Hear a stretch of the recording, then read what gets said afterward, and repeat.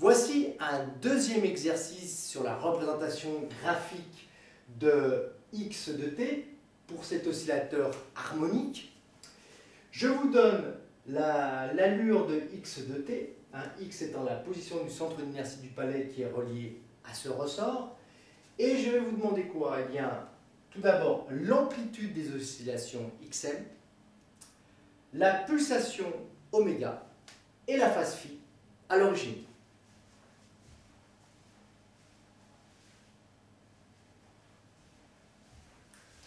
Bien, première chose, euh, le plus simple, eh bien, nous avons euh, ici l'amplitude xm. En effet, x varie de plus 4 cm à moins 4 cm.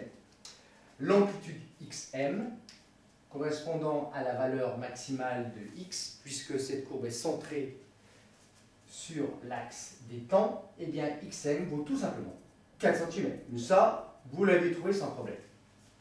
Oméga. Pour avoir oméga, sachant que oméga est égal à 2pi sur grand t, il faut connaître la période d'oscillation t. Nous voyons que la période d'oscillation t est le plus petit écart séparant deux élongations maximales. Voici x max, voici x max. Entre les deux, eh bien, il y a 2 moins 0,5 secondes, ce qui nous donne t égale 2 moins 0,5, c'est-à-dire 1,5 secondes. Tous les 1,5 secondes, eh bien, x reprend sa valeur initiale. Bien. Donc maintenant, on va calculer oméga. Oméga égale 2pi sur t, c'est-à-dire 6,28 radians sur t qui vaut 1,5 secondes. Eh bien, ça nous fait environ 4,2 radians seconde moins 1. Dernière chose, et pas la chose la plus facile, c'est trouver phi phase à l'origine.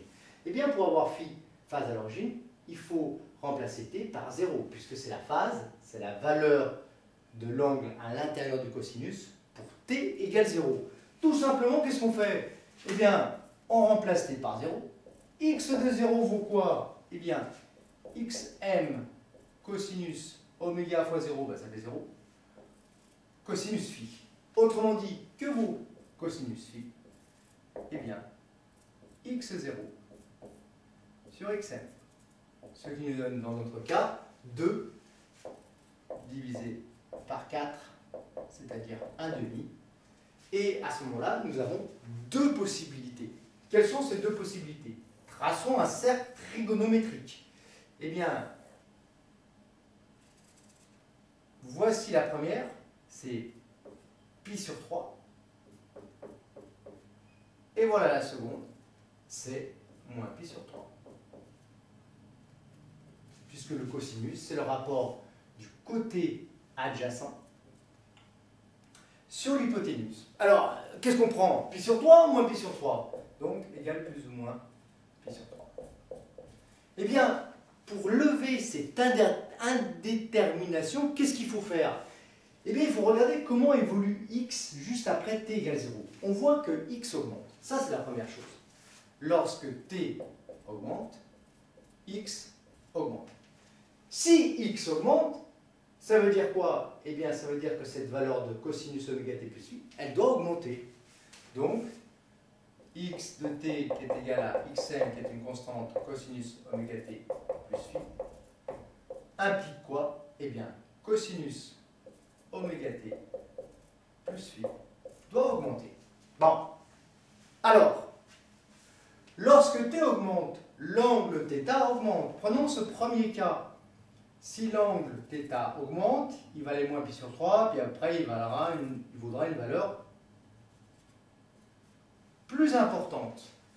Qu'est-ce qu'on voit? Eh bien, si le temps t augmente, dans ce cas-là, on va avoir le cosinus qui va être quoi? Le rapport de ça sur ça. Et eh bien le rapport de ça sur ça, c'est plus grand que le rapport de ça sur ça. Donc le cosinus va augmenter. Donc si phi égale moins pi sur 3, ça implique quoi?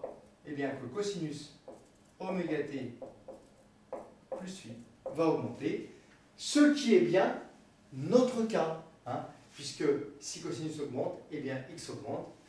On le retrouve sur la représentation graphique. Bah, vérifions quand même, hein, par plus de sûreté, et voilà, on a que ça à foutre, savoir si on prend plus pi sur 3, qu'est-ce qui se passe? Ben, Si on prend plus pi sur 3, si θ augmente, qu'est-ce qui va se passer? Eh bien, le cosinus, qui est le rapport de ce segment sur ce segment, il va diminuer. Hein. Si phi égale plus pi sur 3, à ce moment-là, évidemment, θ de t, hein, θ de t étant cette valeur, va augmenter, mais le cosinus oméga t plus phi, lui, il va diminuer. Donc x de t, il diminuerait. Ah, c'est pas notre cas. Hein, on aurait x de t qui diminuerait, bah, si la courbe elle faisait ça par exemple. Voilà. Voilà, c'est fini.